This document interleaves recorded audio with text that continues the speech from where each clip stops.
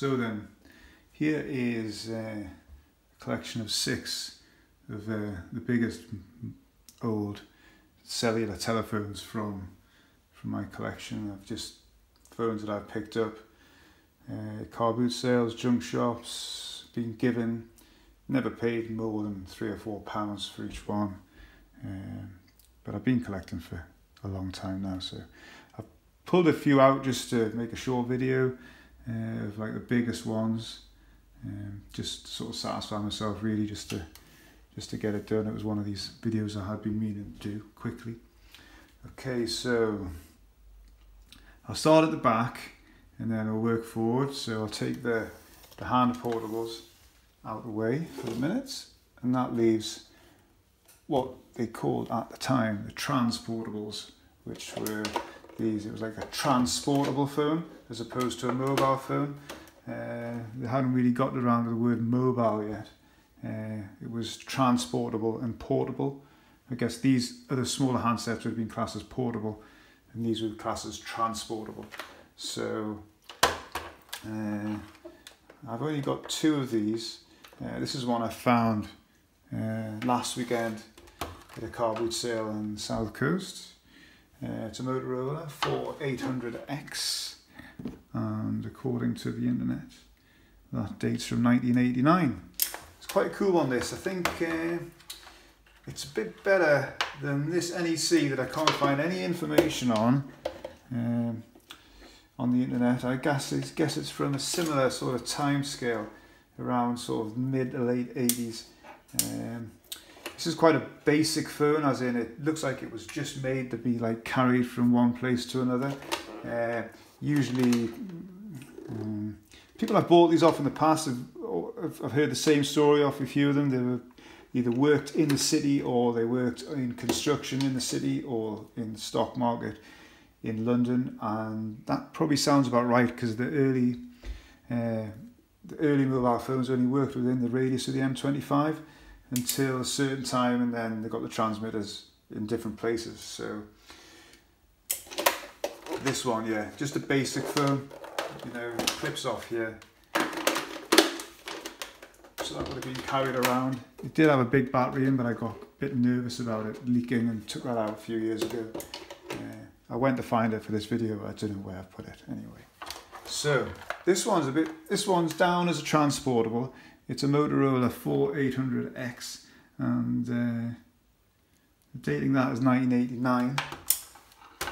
This one's a bit cooler. It has a speaker here and a microphone here. So I guess you, this would have been carried to like a meeting and someone would have dialed someone up and put the phone down and then you would have had a meeting and everyone would have spoke in the microphone and the speaker and it would have been and then when the meeting was finished you know you flip the envelope you carry it off the battery's here and in battery terms, it's a bit of a beast.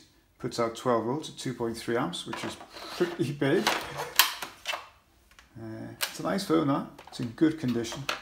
I guess the feeling this would have been a bit more expensive than that one and it's a little bit smaller.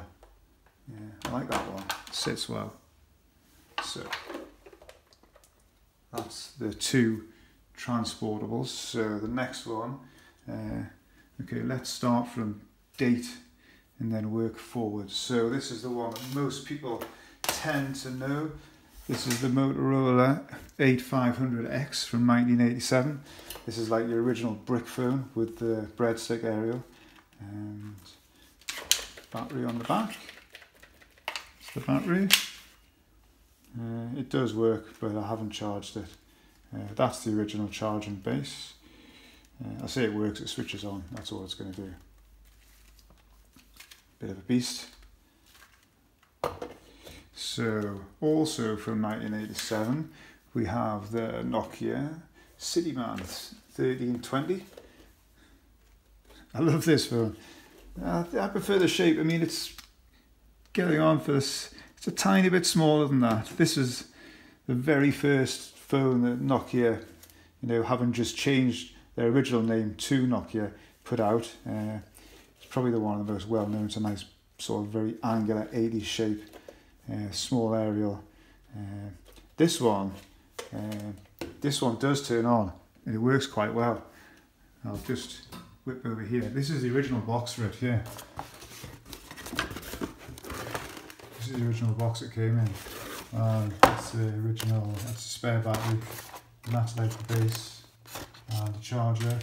I even have the paperwork that came with the phone. that's pretty cool. So that's the, the Nokia CityMan 320. And following on from that Nokia CityMan, I have a Nokia CityMan 100, which is this one.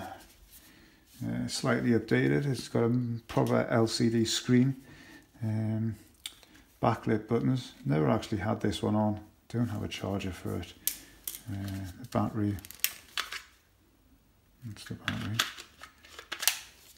a small aerial.